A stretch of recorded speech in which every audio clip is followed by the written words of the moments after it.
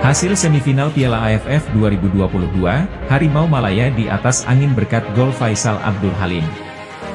Namun sebelum lanjut, jangan lupa subscribe channel ini dulu, agar kalian tidak ketinggalan informasi seputar bola setiap hari.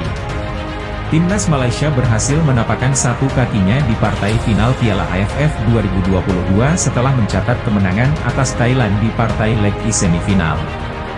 Partai leg di antara Malaysia versus Thailand di Stadion Bukit Jalil berakhir dengan skor 1-0.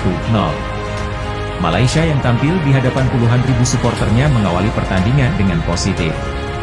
Pada menit ke-11, Harimau Malaya sukses unggul melalui aksi Faisal Abdul Halim yang menyambar umpan sundulan Rufentiran Vengadesa. Tertinggal satu gol, Thailand langsung keluar menyerang. Pairadon Camrak Same mendapat peluang pada menit ke-19. Namun tembakannya masih terlalu lemah dan mudah saja diamankan kiper Malaysia, Chihan Hazmi. Gelombang serangan Thailand semakin deras ketika laga memasuki menit ke-30. Namun, pertahanan Malaysia yang bermain solid dan kompak membuat tim tamu kesulitan menciptakan peluang berarti. Malaysia mengawali babak kedua dengan gemilang. Pada menit ke-55, Dominic Tan berhasil menyerangkan bola ke dalam gawang Thailand. Akan tetapi, gol tersebut dianulir wasit karena terjadi pelanggaran sebelum bola bersarang di dalam gawang. Di pertengahan babak kedua, Thailand kembali menekan lini pertahanan Malaysia.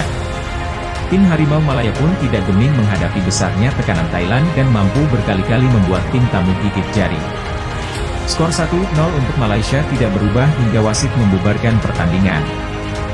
Anak asuh Kim Pandon hanya butuh hasil imbang di pertandingan leg 2 untuk mengamankan tempat di partai final Piala AFF 2022. Pertandingan leg 2 rencananya akan dilaksanakan di Stadion Thammasat pada Selasa 10 Januari mendatang. Pemenang duel Malaysia versus Thailand akan menghadapi Indonesia atau Vietnam di partai puncak. Bagaimana komentar kalian?